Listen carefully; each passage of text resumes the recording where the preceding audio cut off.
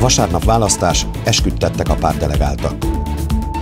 200 millió eszközökre nyertes pályázatok a kórházban. Győzelem a megyei kupában, a Jaminát fogadta az ULE.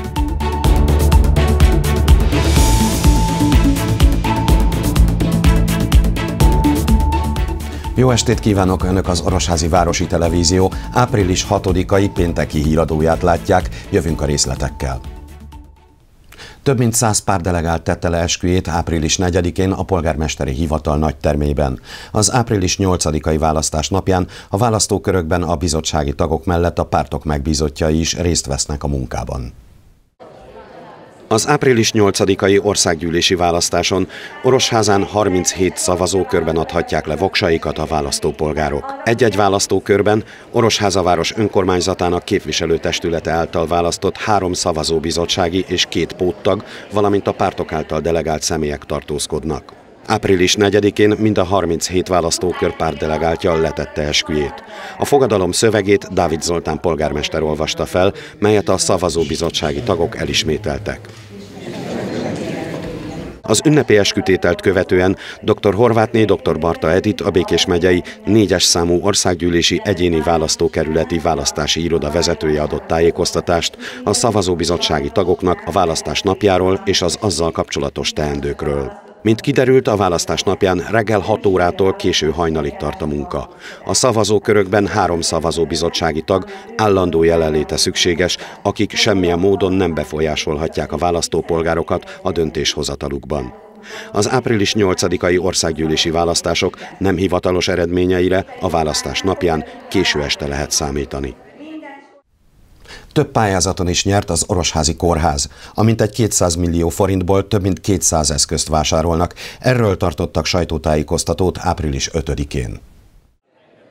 Ez az egyik eszköz a 200 beszerzés közül, amely segíteni fogja a kórházi dolgozók munkáját. Az úgynevezett Handin Scan a készigéniáért felel. A szerkezet készfertőtlenítés után megmutatja, hogy jól végezték el a tisztálkodási műveletet, vagy maradt még kórokozó a kezükön. Ezt is bemutatták az Orosházi Kórház központi technológiai tömbjében tartott sajtótájékoztatón április 5-én, melyen az intézmény legújabb eredményeit ismertették. Azokat a pályázatokat, melyeken sikeresen szerepelt a kórház. Ezáltal az ellátottak és az intézményben dolgozók körülményeit is javítják. Uniós forrásból származó és egy hazai forrásból származó projektnek a bejelentése történt meg.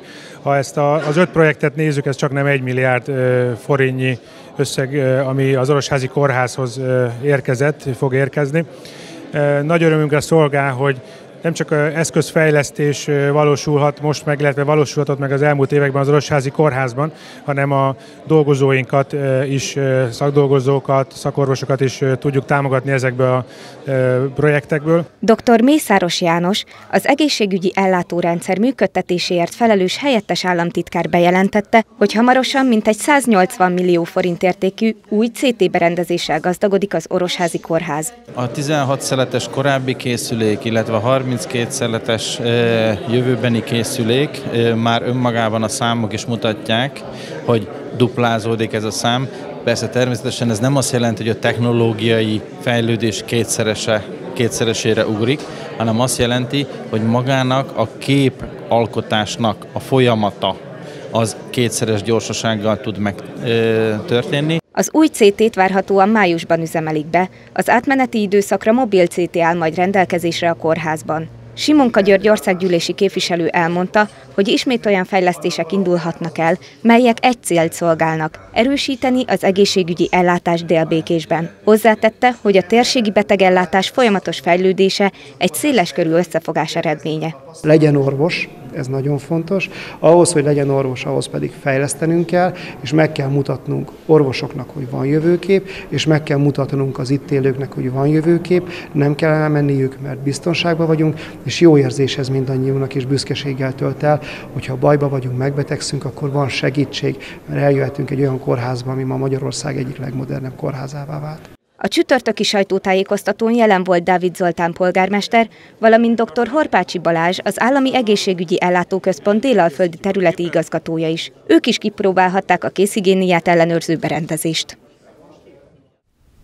Különleges vendéget köszöntöttek április 4-én délelőtt a polgármesteri hivatalban. Baráti, ismerkedő látogatásra érkezett a Weimar melletti Kromsdorf kisvárosának polgármestere a német nemzetiségi önkormányzat közreműködésével. Türingia tartomány kisvárosának, Kromsdorfnak a polgármestere Gunther Brániák látogatott családjával együtt Orosházára. A német nemzetiségi önkormányzat képviseletében dr. Abonyi Lajos és dr. Forman István kísérte el a polgármesteri hivatalba, ahol Dávid Zoltán Orosháza polgármestere fogadta őket. Mostani látogatás ez kötődik a tavaly augusztusi német nemzetiségi önkormányzatnak a látogatásához Kromsdorfba, amikor is a Kromsdorfi önkormányzat a reformáció 500. éves jubileumára meghívta az Orosházi Német Nemzetiségi Önkormányzatot is. A látogatás gondolata ugyan tavaly fogalmazódott meg, de a két város közös története jóval régebbre, 1976-ra nyúlik vissza. Akkoriban a Kossuth Lajos szakképzőiskola akkori diákjai jártak ki Kromsdorfba, szinte éves rendszerességgel. A legjelentősebb esemény Pap Gyula, orosházi festőművész születésének századik évfordulójára tervezett, Weimarban, Kromsdorfban és Orosházan is megtartott kiállítás volt. Közös kiállítást tudtunk szervezni. Weimar, Kromsdorf, Orosháza, egy frankfurti műgyítő segített még be ebbe a kiállításba, és itt Orosházán is illetve Kromsdorfba is megnyílt egy Pap Gyula kiállítás.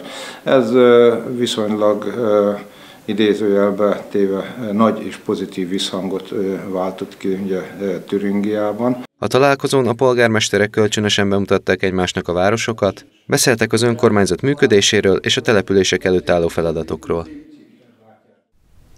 Nem hétköznapi vendégek lepték meg április 5-én reggel a református, később pedig a Székács iskola diákjait. A Kossuth és Liszt Ferenc díjas 1973 óta működő magyar népzenei együttes a muzsikás adott rövid koncertet a gyerekeknek, akiknek különleges hangszereiket is bemutatták. Nemzetközi hírű magyar népzenei együttes látogatott Orosházára. A muzsikás együttes tartott előadást a Református és a Székács iskolában.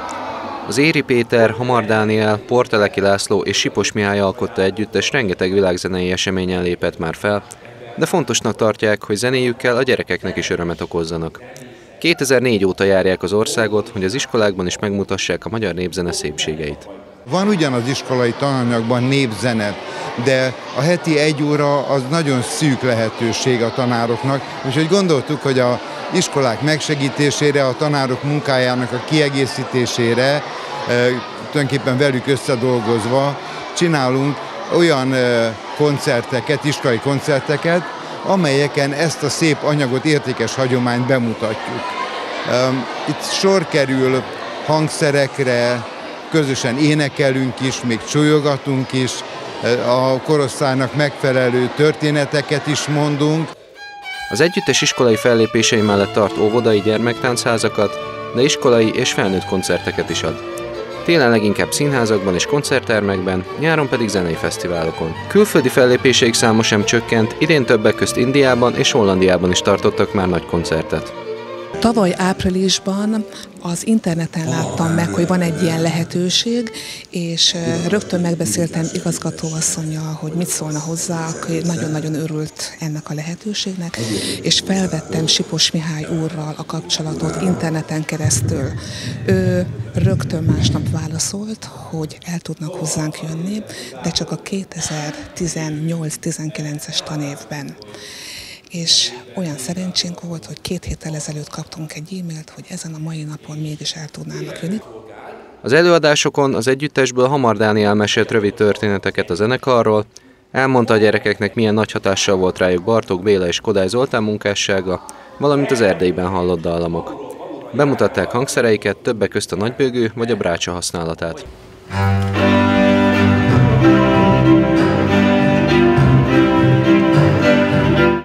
tanulók tapsal és ovációval fogadták a zenészek munkáját.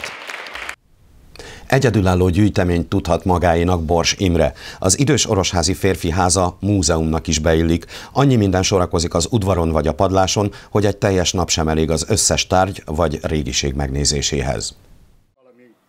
Már 38 éve, 1980 óta él Retek utcai házában Bors Imre, nagyjából erre az időszakra nyúlnak vissza gyűjteményének első darabjai is. Kezdetben bent a házban vagy az udvaron gyűjtögette különleges régiségeit, utána döntött úgy, hogy az addig kihasználatlan padlástérbe költözteti nagyobb részüket. 2000 januárjára gyakorlatilag úgy rendbe tettem mindent, hogy ott már bemutatható jellegű legyen, és akkor oda föl rámoltam nagy részét, és amikor utána aztán ez is jött, az is jött, az emberek is jöttek, hogy ez is van, az is van, nem kell neki, kilomtalanít, el akarja a háztól úgymond ők tenni, akkor én láttam, hogy ezt is érdemes megmenteni, amazt is érdemes megmenteni. Elmondta, a látogatók száma változó, van olyan időszak, mikor kevesebben jönnek, de olyan is, hogy csoportosan érkeznek. Régiségeit mutogatva szinte mindegyikhez fűz egy kisebb történetet. Ami közös a tárgyakban, hogy eredetileg kidobták volna azokat, ő viszont úgy gondolta, érdemes lehet megőrizni az utókornak. Rengetegféle dolog, meg hát használati eszközök, amiket ugye régen is használtak, és mai nap már lassan kifogy, tehát alig-alig lesz már belőle egy-egy darab, és ezeket úgy próbáltam még mindig megmenteni, és akkor körülbelül olyan tíz szakmának megfelelő dolgok vannak. Az udvar épületeiben is szakmák szerint kialakítva lehet látni a különböző régiségeket. Itt sorakoznak a pék, kovács és asztalos műhelyének felszerelései. A kiállított varoda használati tárgyai között lehet találni az első világháborúval egyidős szerkezeteket is. A kiállítás hosszú kikapcsolódást ígér, hiszen itt mindenhez kapcsolódik egy kisebb történet. A tavasz beköszöntével éled a természet, egyre aktívabbak a halak és a horgászok is, akik nem csupán halfogás céljából mentek ki a napokban a partra. Az elmúlt héten két alkalommal is telepítettek halat az orosházi vizekbe.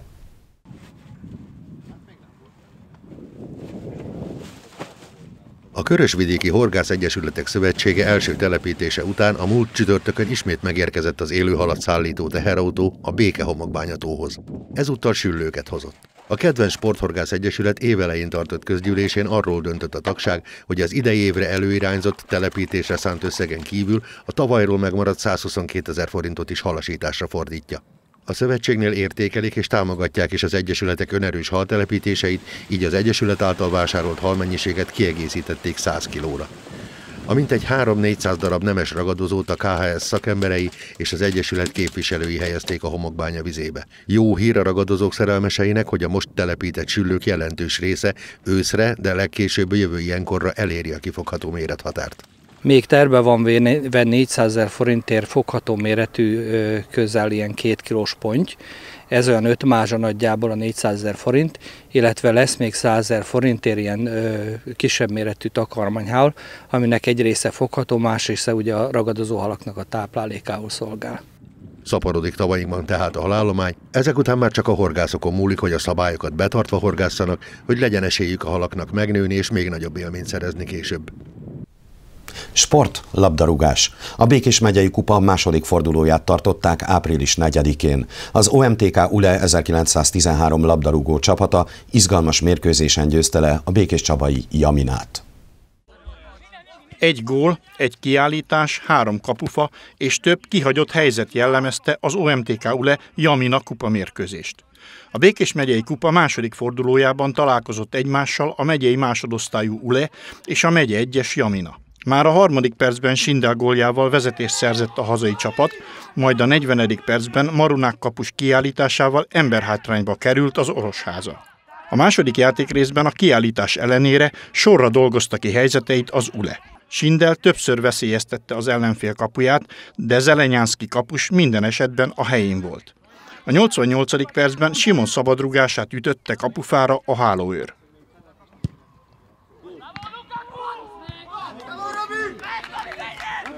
Az utolsó percben Sindel került a földre, de a büntető elmaradt, így az OMTK ULE egy nullás győzelemmel lépett túl magasabb osztálybeli ellenfelén. Feletté bizgalmas és érdekes mérkőzést játszottunk. Én azt gondolom, hogy a kiállítás egy új feladatot adott a mérkőzés során. Előtte is megvolt a mezőnyfölényünk, de az, hogy utána tíz emberrel egy csapatként küzdve le tudtuk így hozni kapott gól nélkül, én azt gondolom ez maximálisan dicséretet érdemel a csapat számára.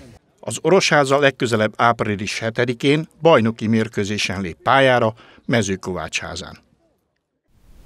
Híradónk végén lássuk még egyszer a legfontosabbakat röviden. Vasárnap választás, esküdtettek a pártdelegáltak. 200 millió eszközökre, nyertes pályázatok a kórházban. Győzelem a megyei kupában, a Jaminát fogadta az ULE.